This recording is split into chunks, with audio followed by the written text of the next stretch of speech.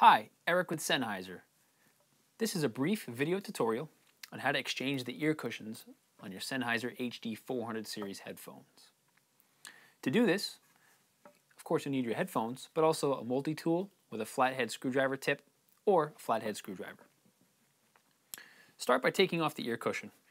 Take a finger, put it underneath the cushion, pinch, and pull. The first time you remove it, it may be a little bit stiff. That's okay. Don't be bashful. You'll notice that there are teeth along the outer rim or circumference of the ear cup chassis. These hold in this plastic rim that is adhered to the back of the ear cushion. When you're ready to put your cushion back on, I suggest starting by placing one tip of that collar here underneath the teeth. Then work your thumbs around and press and try to get some other teeth to interlock.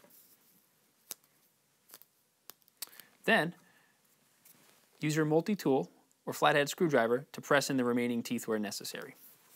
You can pull aside the cushion just slightly and press it in along each section and you'll hear a slight click indicating that the tooth has grabbed on to that collar.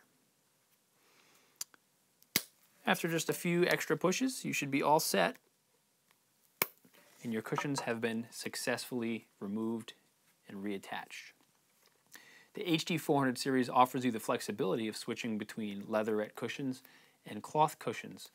Uh, so feel free to exchange them uh, and you can order the different cushion types from Sennheiser USA. That's 877 Sennheiser, extension 1 for sales, or visit SennheiserUSA.com.